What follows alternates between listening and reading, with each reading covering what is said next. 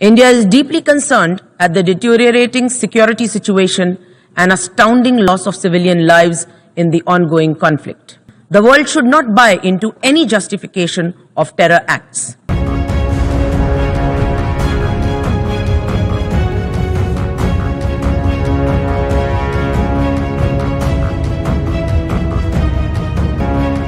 We appreciate India's support.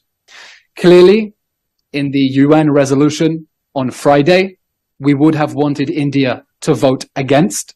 It was an outrageous resolution. It didn't mention Hamas once. It didn't call for an immediate return of the hostages. It's like having a UN resolution three weeks after 9-11 and not mentioning Al-Qaeda or the Twin Towers being uh, brought down by plane strikes. So we appreciate the support of international friends that are standing by Israel's side and want Israel to defeat Hamas. I think that uh, resolution was deeply flawed, and I was sorry to see that uh, even many of our friends uh, did not insist that there would be a full and powerful condemnation of the horrors that were committed here, that are horrors that no civilized country, including uh, your country and so many others, would tolerate.